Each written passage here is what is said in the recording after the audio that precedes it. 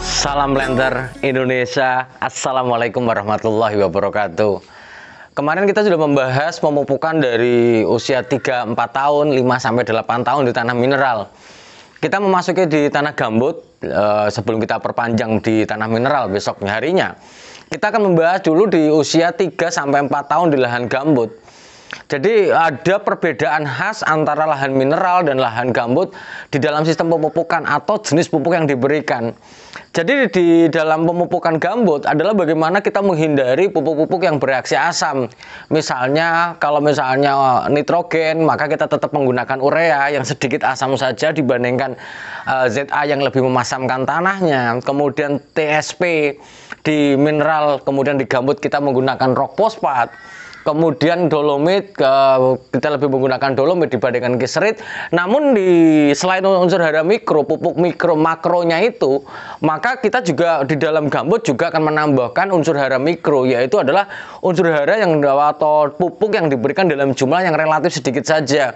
Mungkin di dalam pemberian di tanah mineral juga sering dikasih borat tapi di dalam uh, mekanisme pemupukan di gambut tidak hanya borat tapi ditambah dengan CuSO4 atau tembaga sulfat ditambah dengan ZnSO4 sebagai uh, sebagai suplai unsur hara besi yang sering di mana bahwa uh, tembaga ataupun besi ini di dalam sistem gambut sering terhelatkan yang tidak tersedia bagi tanaman kelapa sawit sehingga bahwa di dalam tanaman kelapa sawit di gambut sering rentan atau terjadi terjadi kekurangan Zn ataupun Fe dalam jumlah yang walaupun dikit tapi dia akan menentukan uh, kerusakan dari tanaman yang kita tanam di lahan gambut.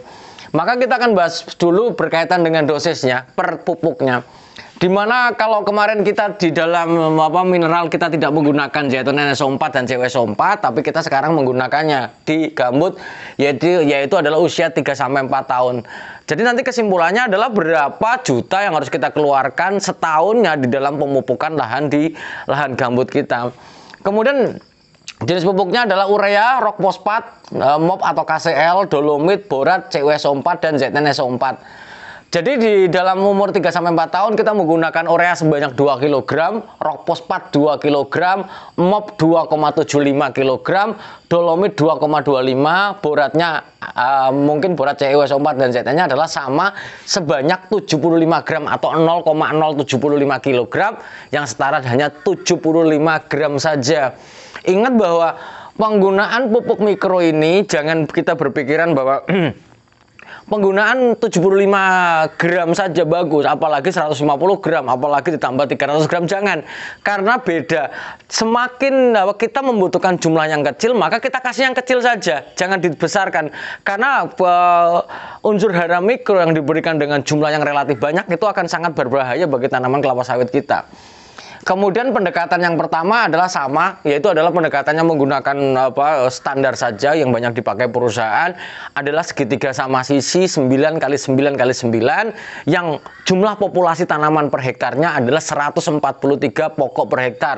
Ketika kita kalikan maka urea 2 kg dikalikan dengan populasi maka kita butuh urea adalah 286 kg Kemudian rock fosfatnya adalah 286 kg, mobnya 393 kg, dolomitnya adalah 322 kg, boratnya CuSO4 dan ZnSO4 ke kebutuhannya sama yaitu adalah 10,7 kg saja.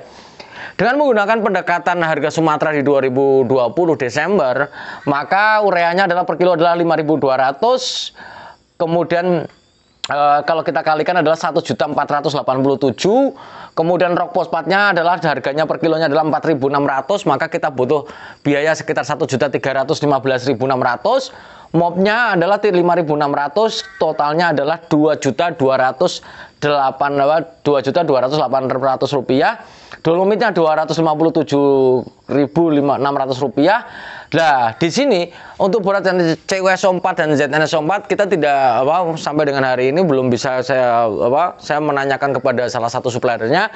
Kita menggunakan harga eceran saja bahwa borat adalah 19.200, kemudian kemudian CWSO4 adalah 36.000 dan ZNSO4 adalah 22.000. Jadi total borat yang kita pupuk borat yang harus kita keluarkan biayanya adalah 205.444 205 440 rupiah CUSO 4 nya adalah 385 200 dan ZN SO4 nya adalah 235.400. Jadi kalau kita totalkan uh, untuk memupukkan uh, di gambut uh, usia 3 sampai 4 tahun ternyata bahwa angkanya adalah 3 6 juta 87.240 rupiah.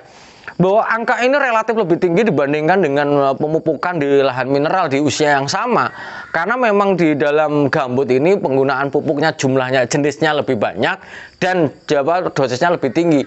Kita bisa contohkan bahwa di sini tidak ada kemarin kita tidak ada CWSO 4 ada tidak ada ZNSO 4 satu hal yang ingin saya sampaikan di dalam pemupukan 3 sampai 4 tahun di lahan gambut ini bahwa kekuatan produksi di gambut pada usia panen perdana ini maka kekuatannya dipupuk seperti kita di lahan mineral.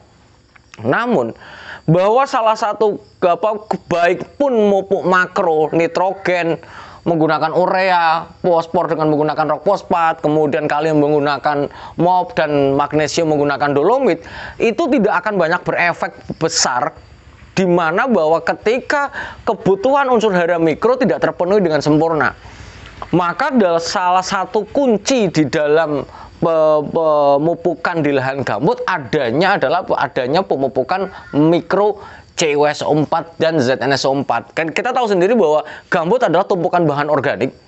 Tumpukan bahan organik di mana bahwa bahan organik ini akan mampu menghelat uh, unsur hara logam baik yang dibutuhkan dalam jumlah sedikit. Walaupun sorry bukan FE ini ZN ya ZNSO4 bukan FESO4 baik seng ataupun tembaga uh, baik seng ataupun tembaga sama-sama dibutuhkan dalam jumlah yang sedikit. Tapi keduanya itu bisa mampu terhelat.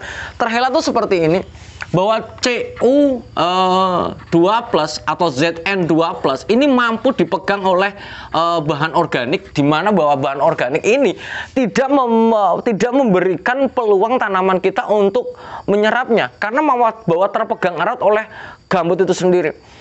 Oleh sebab itu para planter semua dan para petani semuanya pemupukan walaupun 75 gram itu tidak bisa dihindarkan lagi.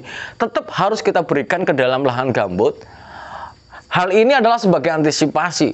Antisipasi jangan sampai di usia dini kita sudah kekurangan CUS CEW tembaga ataupun ZN yang sangat berpengaruh terhadap daun kelapa sawit di dalam pertumbuhannya.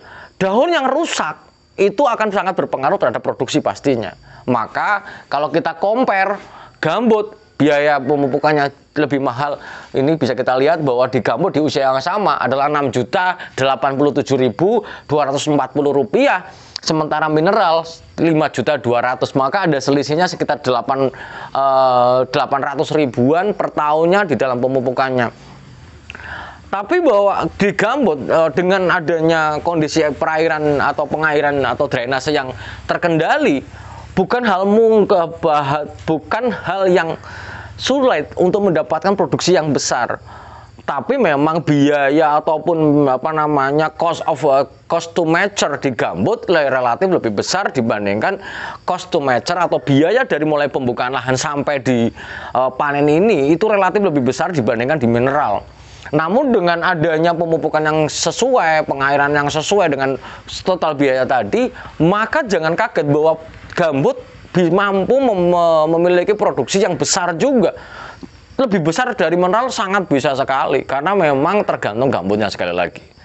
Mungkin itu saja yang ingin saya sampaikan kepada para planter dan para petani semuanya. Semangat selalu para petani dan planter semuanya. Semoga Allah memberikan kesehatan bagi saya, Anda dan semuanya dan jangan lupa selalu bahagia. Terima kasih. Salam planter Indonesia. Assalamualaikum warahmatullahi wabarakatuh.